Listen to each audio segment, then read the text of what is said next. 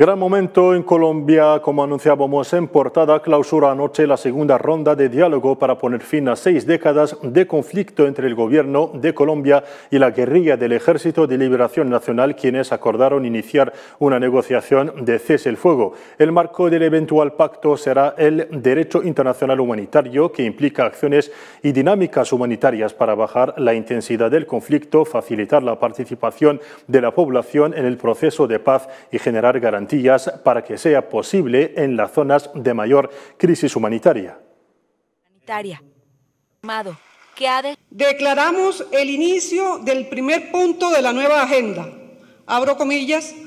Participación de la sociedad en la construcción de la paz. Por eso el mensaje hoy es un mensaje de paz.